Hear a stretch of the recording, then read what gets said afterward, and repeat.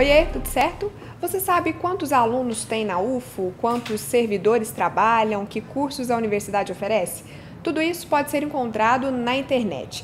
Mas a partir de maio, com planos de dados abertos, a UFO vai disponibilizar essas informações de um jeito que facilita fazer pesquisas e comparações, por exemplo. Lá no portal tem mais detalhes. E termina nesta terça-feira o prazo para se inscrever no primeiro Comunica Ciência, encontro mineiro de pesquisadores e jornalistas. No portal também tem a programação completa e o passo a passo para você se inscrever. Ótima semana para você, até amanhã. Comunica.ufo.br